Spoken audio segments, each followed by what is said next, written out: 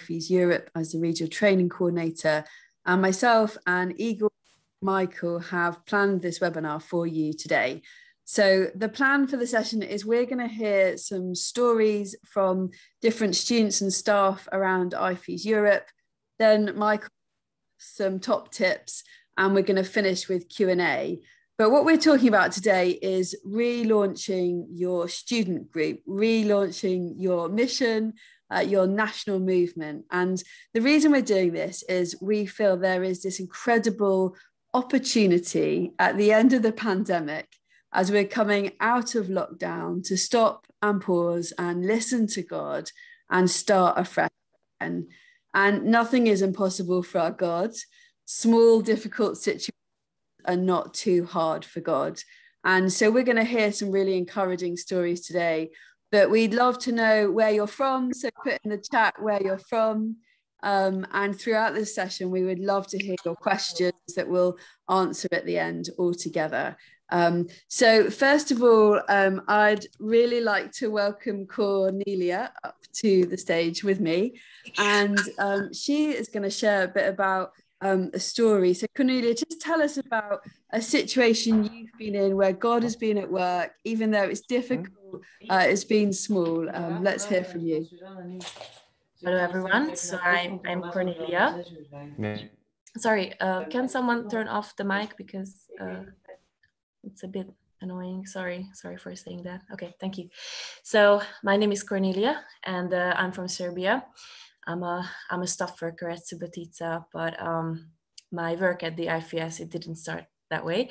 Um, first, I was a student at Novi Sad, and uh, I was studying fine art. I finished actually fine art, and uh, while I was studying there, I volunteered to be a part of um, our IFES group there. So I tried to really be involved in it and uh, help as much as I could. So we were organizing mission weeks, and once um, one guy from Subotica, which is my hometown, came to see our mission week. He came to see what are we doing. He was Christian and he wanted to learn how we are doing that.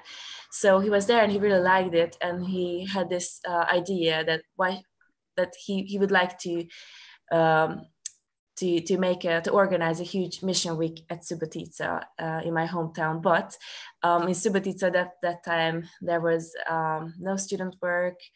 Um, there were some Christian students, but they were not like together. They were not gathering together. Like nothing was happening. So it was very interesting that one guy really just decided that he wants to somehow reach the students um, and he was ready to do it on his own if he needed to like he was just ready to make it happen. And then when i heard this i really got a flame inside and i was like wow it's my home time like i should do something as well.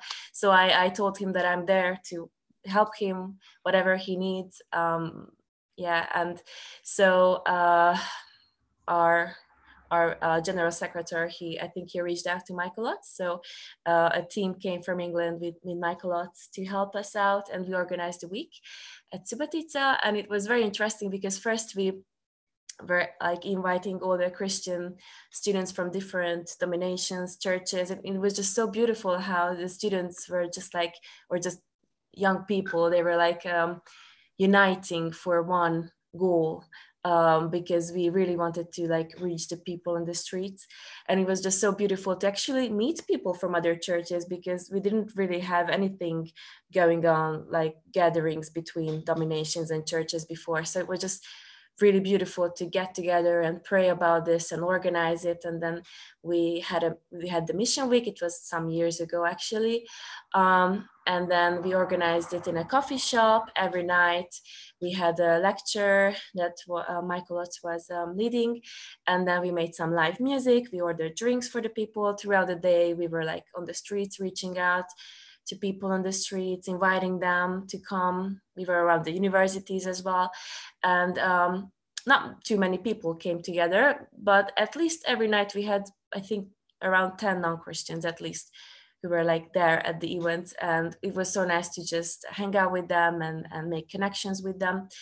And through that week, God really touched my heart and He really kind of put this flame um, inside of me that um, it is possible to work in Subotica, uh, even even though if we have to uh, make a way with him because not many people are working with students there, but like it is possible to do something. And uh, I really just kept this flame on my heart, and then I went back to Novi Sad.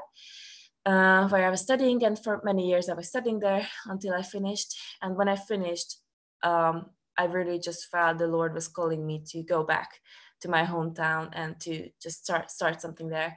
So I went back and um, first first I was an art teacher, but um, as a part-time job I started to work with students. I started to gather people from different churches, and then a year later I quit my job and I became a full staff worker.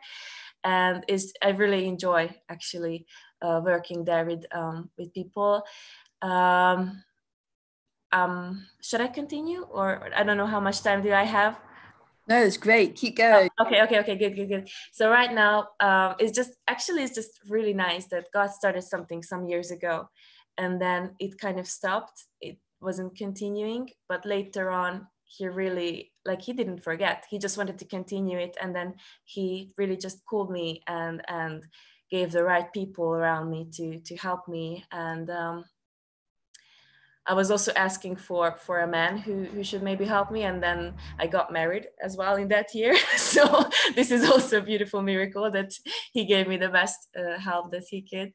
Um, and then yeah, we're working there with students, and what I'm doing is that I have two different um, groups. So I'm working with high school students and with university students, um, and through the COVID time, it was a bit hard to gather. Sometimes we were gathering um, unlegally because it wasn't really allowed to come together and yet we we decided that at least 10 of us we will like gather. And uh, yeah but but it's really nice that uh, especially the teenage group they're super interested like some of them really like they're coming together now as a family really a family atmosphere just um, yeah it, it just kind of happened and i'm trying to keep that atmosphere. We're always having food. Every week we're, we're together we're hanging out we're learning something. Um, but for the university students i'm trying to organize it more professionally and i'm always inviting a speaker uh, to, to share. So every week i'm trying to make a different topic um, because students they don't always want to come. They, they they come if they're interested in the subject. So i realized i have to be very creative in this. So sometimes we're doing art lectures sometimes completely different uh, like I don't know, we're dealing with depression or, and always, always, obviously, uh, talking about the gospel, like somehow including it, but we're trying to make it very different. So um, every student who's interested in a different uh, topic, he or she could come. So it's interesting that always there are different people coming uh, most of the time not the same people because it really depends on their interest but yeah most of the time we have from 10 until 20 students around who are there. And uh, it's, it's, a small group but um, for now it was very beautiful because we managed to really have quality conversations. There were many non-christians and then we were able to really just um, build friendships with them and then later on go for coffee with them and then talk about christ or or whatever they wanted to talk about and really just just love them and, and show them how God is loving them. So I really enjoy what I'm doing right now. And I encourage everyone that uh, even if you feel like you're the only person who could start something, that's okay. That's okay because we have a powerful God and He's able to, to um, work and he's able to show the way and he's able to really bring people around you and and and help you uh, make a wonderful team to to have a team with whom you can like work together and reach out yeah, so this is all I wanted to share.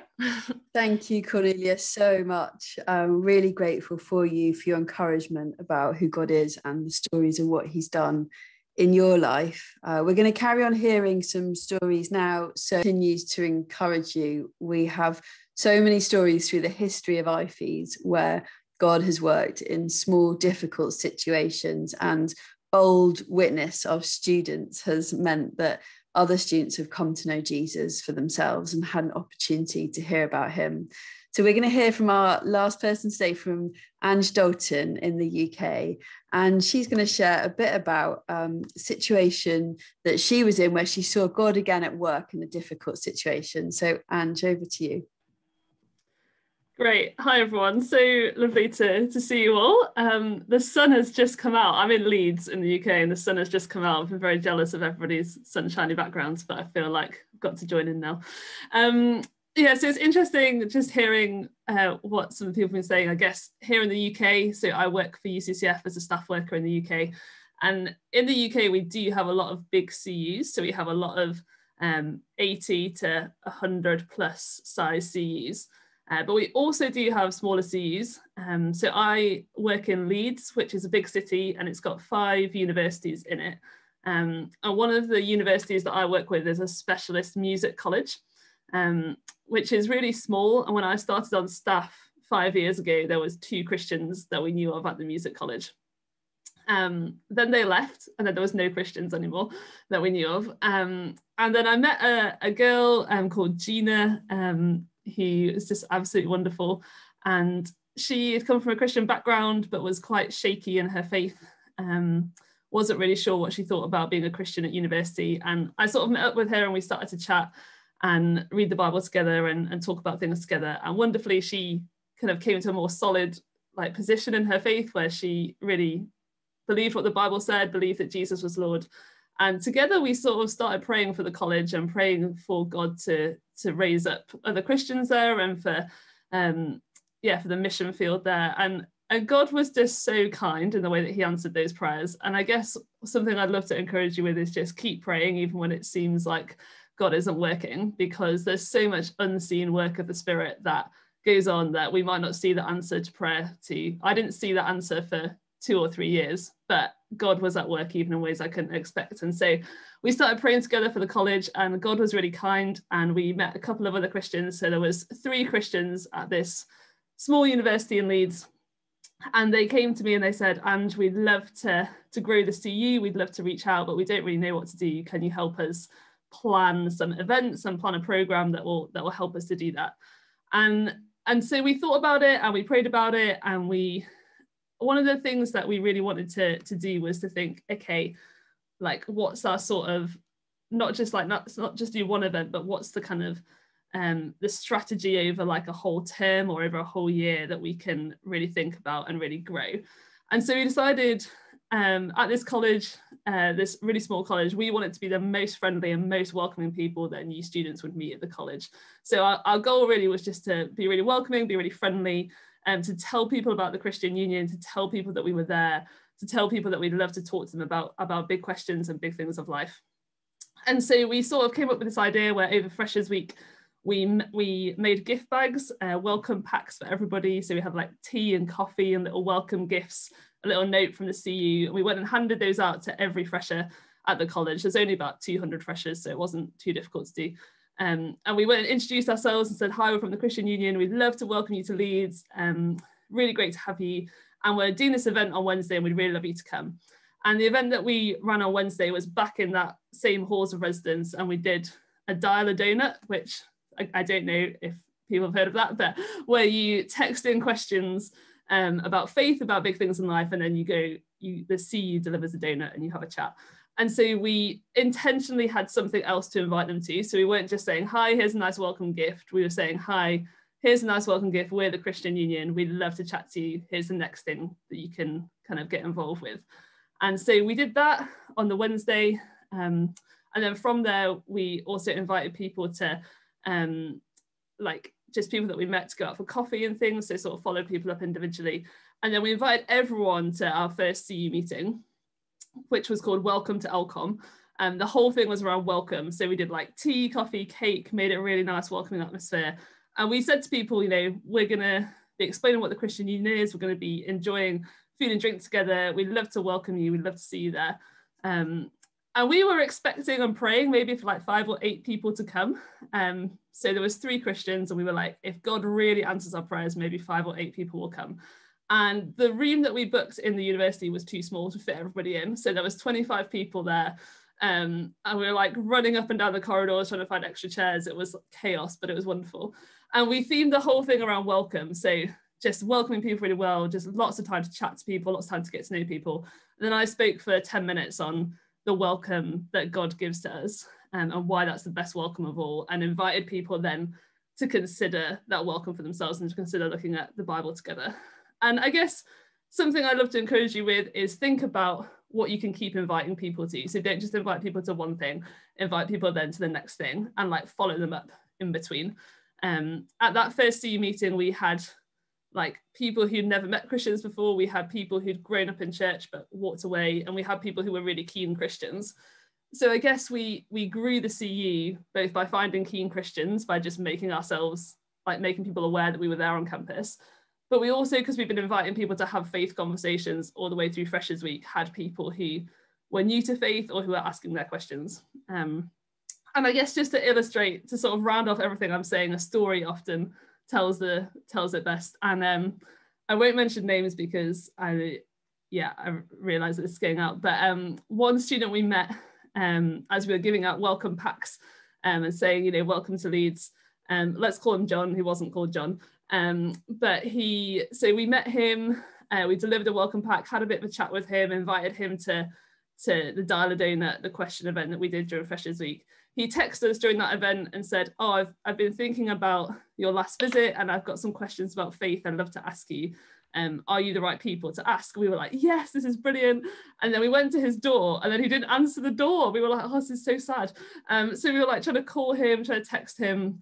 Um, and it turned out that like he'd gone out for like an induction lecture or something. But we then, someone from the CU then met up with him like went out for coffee. He came to the first CU meeting. He he met people from the CU. He heard a bit from the Bible. And one guy in the CU um, opened them Mark's Gospel with him, so Uncover Mark. They started reading it together, and he had so many questions, like so many questions. His life had been really difficult. Um, he wasn't ready to become a Christian in Freshers Week. Um, he wasn't ready to become a Christian at Christmas. He wasn't ready to become a Christian even in Events Week in February. Um, but he just loved the CU community because they'd welcomed him so well, and he didn't have any better friends at uni than the CU. And so he kept coming back. He kept reading the Bible with this guy. He went to a local church, and eventually, at the summer, um, so we've gone from September through to June, July time. Eventually, that summer, um, he decided to give his life to Jesus. Um, and it's just really wonderful. Um, but I guess just yeah, he he wasn't ready at lots of points in the year, but just the friendship and the welcome and the public courage, I guess, of the CU um, had been really significant for for him. Um, and I guess one thing that I like I've held on to as I've worked with small CUs and I've encouraged my students to hold on to is this wonderful verse in Zechariah where it says, Do not despise the day of small things, like the Lord does not despise the day of small things. And I just want to encourage you, like, God doesn't despise the day of small things. And you might hear about CUs in the UK that are 100 strong. They're not all like that. Um, you might hear of people in other countries doing other things. And you might feel really small and you might feel like God's not at work. But that's exactly how I felt with the music college. The CU died, God brought it back to life. Um, and actually, God doesn't despise the day of small things. And it's really wonderful to see the work he's been doing um, in and through that, that college ever since. So I hope that's encouraging. Amazing. Thank you so much, Ange. That was brilliant. So encouraging. Let's not despise the day of small things. So, we've heard some three really encouraging stories. If you've come in late or missed it, we'll send you the recording afterwards. We'd love you now to put some questions in the chat, specific questions that you've got about what we're talking about public mission, public evangelism, relaunching. And Michael is just going to give us some top tips for about 10 minutes or so and then we're going to finish um, with some good q&a so we want your questions so please start writing them in now over to you michael Great. Thanks so much, Nay. Great to have you guys with us. Um, you might be wondering why we've just had those three stories, I guess, because um, maybe you're thinking, well, I want to hear stories about how people rebuilt their student ministry after a pandemic. That's what I need to hear stories about. And of course, the problem is we can't yet tell you those stories because those stories hopefully will be told like in six months' time. And actually, none of us in living memory have experience of what it's like to try and rebuild student ministries after a pandemic. So, what we've tried to do is just show you three stories of how groups that might have felt small and discouraged have been able to build from a very small start to do something really significant. And I think it's important because the one thing many of us feel across Europe over the last few months has been this sense of maybe discouragement. Um, our groups have got smaller, some groups have ceased to exist. Um, we've struggled because we've not been able to meet in person. We've done stuff online, but people have Zoom fatigue, and we're thinking, well, what can we do? And hopefully, those stories encourage us to think, even if we're starting from very small, there is stuff that we can do. And even if we feel like we're re beginning a work, um, let's be encouraged in that.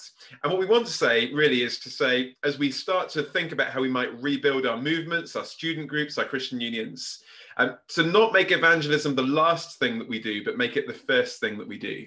Sometimes we feel, well, we've got to build a strong core, get lots of Christians on board, and then maybe in a year's time, we'll think about doing a mission or sharing the gospel.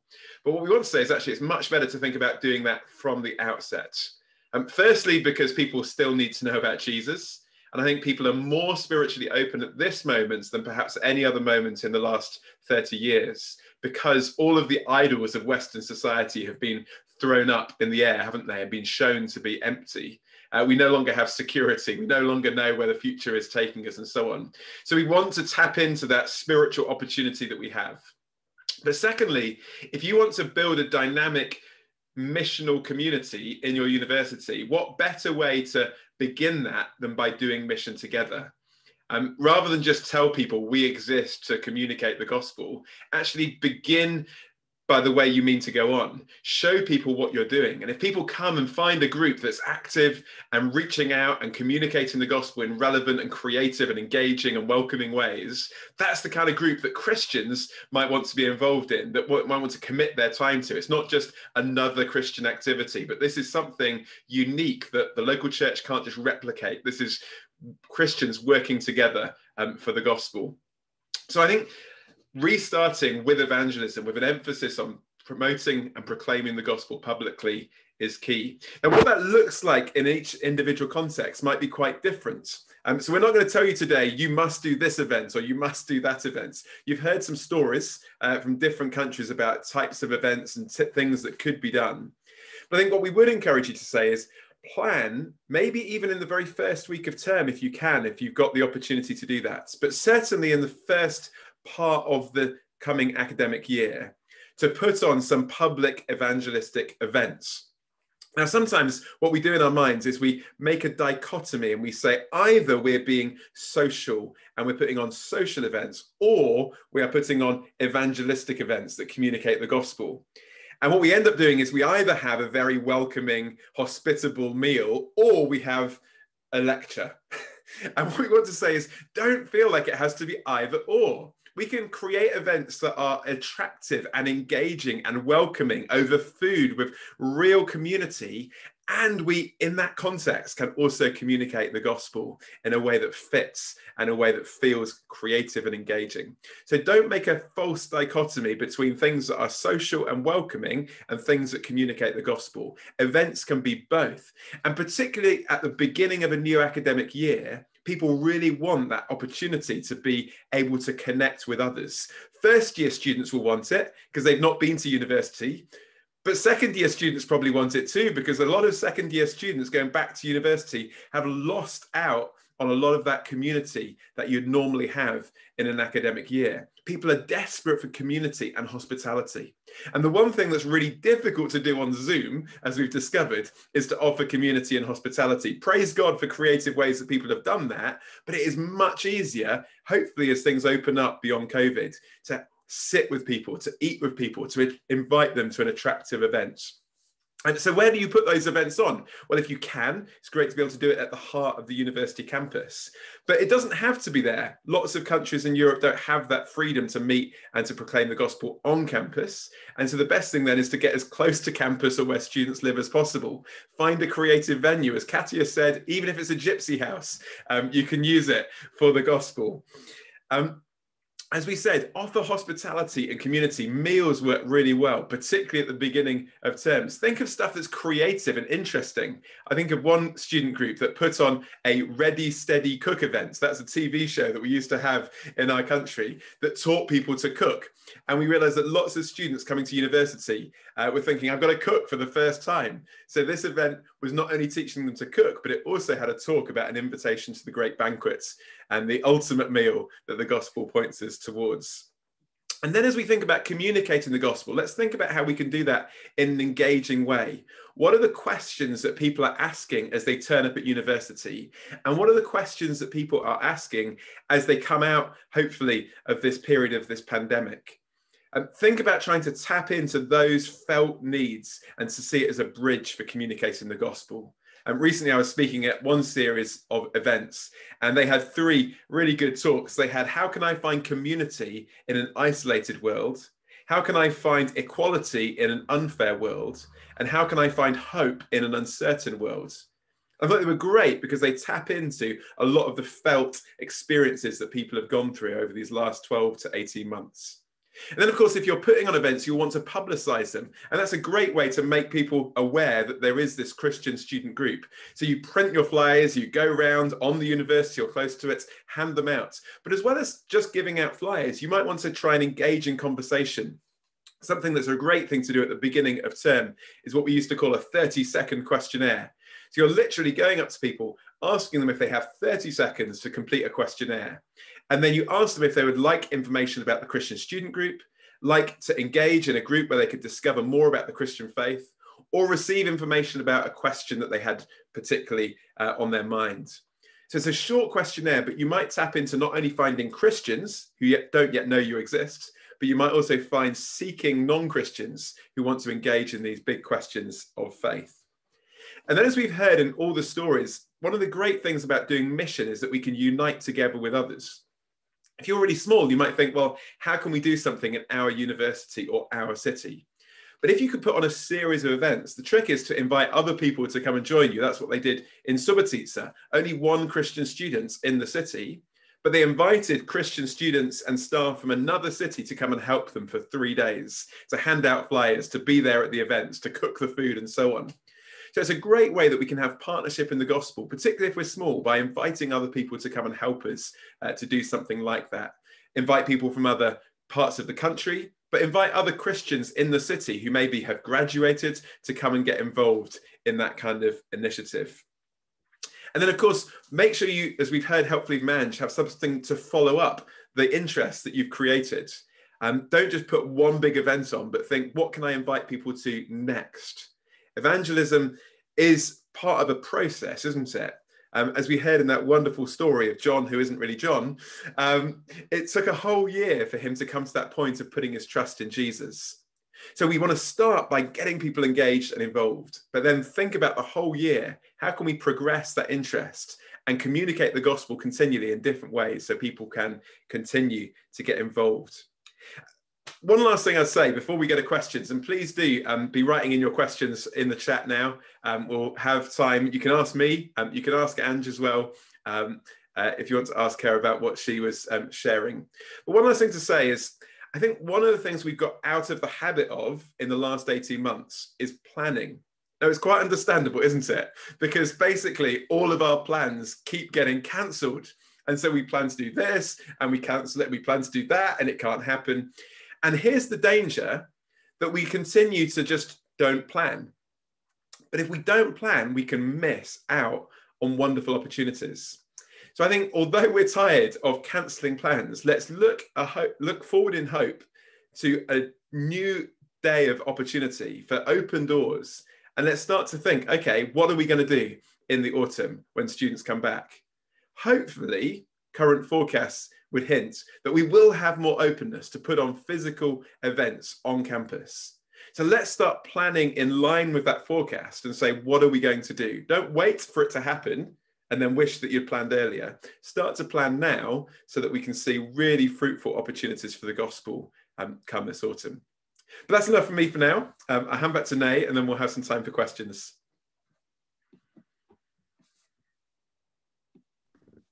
Brilliant. Thanks so much, Michael. So, we've heard some great stuff, haven't we? And we want to really encourage you today to be bold and creative in your witness autumn. So, we want to hear from you, and from your specific questions. So, I'm going to invite Ange back up as well. So, we're all here. Um, let's go for it with some questions. So, and also, if you're watching on Facebook Live, really warm welcome. Send in your questions there and we'll get them in as well. So, thanks for your questions so far. Taka, Um, firstly, Taka says, Michael, could you repeat the three questions of how I can find? Yeah, I think Dorcas has already done it for me actually. Below. Oh, Dorcas yeah, amazing. Community. How can we find community in an isolated world, equality in an unfair world, hope in an uncertain world? Basically, what we did, just to give you um, background to that, is we said, what are the big things that students are feeling and thinking about at the moment? And we felt people feel lonely, they've been cut off from each other. Um, uh, they feel a great sense of uncertainty about the future because they don't know what's going to happen. And none of us do we never did really, but now we realize that. Um, but also tapping into um, things like the Black Lives Matter protest last year, this real sense for equality, uh, which is a huge thing, not so much related to COVID, but certainly a kind of cultural moment that we're in. And so trying to build bridges from all of those three things, which really do get to the heart of the gospel. So um, what we find is if you have an evangelistic event that just says with a talk, it sounds like a warning for the bit of the event that they're going to find boring. Whereas if you can have a really good title, it's actually part of the hook, part of the attraction to the event. And so think about talk titles that hopefully will make people go, oh, I would like to know the answer to that question, rather than, oh, I know what they're going to say because they're Christians. Thanks, Michael. Have you got links to those talks anywhere, or are those? Talks- um, I do somewhere. I could, if we could send it. I'll, yeah, I'll yeah. Send, I can put that in the email afterwards. Great. Yeah. There must be some more questions. Thanks, Tom. Nice to see you. Um, who's got some questions? What are your thoughts? What are your plans for September, October? What are you thinking? That's never going to work here. I'm just too tired. We would love to hear them. Mm. Um, so pop them in the chat. Michael, and my question is what what if your students are just too tired and they can't face this right now? What are your thoughts on we all agree with you, but you know, it's just too much for now. What would you say? And just go for it. Go first, then Michael Thanks for that, Michael. So kind. um, I guess like the first thing I'd say is like that's that's always like that's often the way that God most uses us is the place where we feel the most weak, and whether that's physically tired, mentally tired, like COVID, lockdown, uncertainty, it's all been draining. Um, but I guess often you look at in the Bible and people that were like just you wouldn't choose them to be your evangelistic front runners, and God uses them, and um, certainly that's the case for the stories that we've heard as well. You think oh, you look at it humanly, you just think God wouldn't use that, and so I guess I'm encouraged by the fact that even if we are tired and even if we are weary, like the Lord meets us in our weariness and our tiredness, that His Spirit renews us, and often it's when we feel the most weak that, that God really does use us.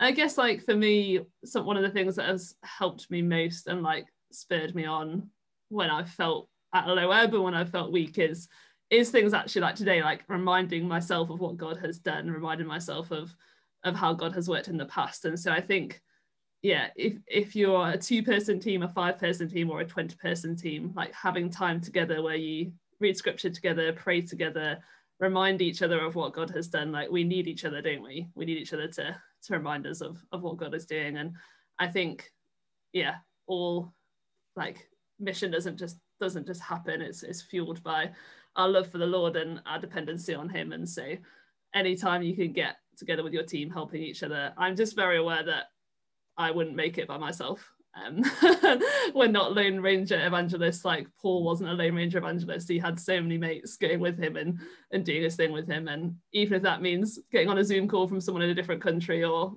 whatever, I think we, we need each other to spur each other on and say, um, yeah, pick up their phone, get on Zoom, ask someone to help you when you feel like we don't need to be embarrassed about feeling weak. We're all weak. And um, I think we just need to acknowledge that we need each other sometimes to to spare each other on and help us see Jesus again. So that'd be what I would say. It's a bit of a waffly answer. So I'm, sure, I'm, sure, Michael probably has something more. no, I, I guess I, I guess I'd say three things. One, um, yeah, we are tired, and we're not suggesting doing this next week. We're suggesting doing this in the autumn. So get a get a rest over the summer, chill out, um, enjoy enjoy a break.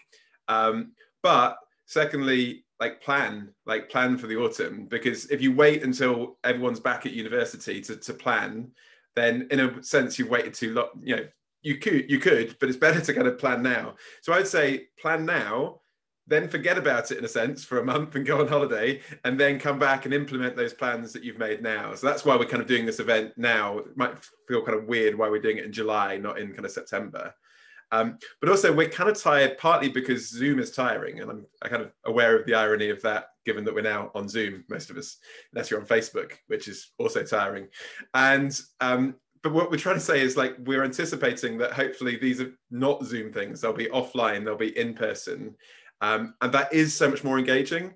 But I have to say, like as an evangelist, I've spoken at a lot of events, and I do find online events exhausting. You feel like you're giving out, you're not getting a lot back, and, and we're feeling fatigued. But I also know that when I'm in person and I get to see people and I get to chat to them afterwards, that is energizing. And so I think rather than thinking, oh, I need a break, actually, no, what we need to do is we need to be with each other doing evangelism in person, talking to people. So plan for that. And I think once you start doing it, the energy will come back. And I don't know, I found, you know, when you get those kind of in-person opportunities, like it is kind of energizing in a in a fresh way. Amazing, thank you. Does anyone have a question that they would rather ask than write down? If so, please unmute yourself. And if not, we're going to do is just go into breakout rooms and pray for each other. Um, so you've got last chance to ask a question, either writing or unmuting. Great. So I'm going to stop our recording.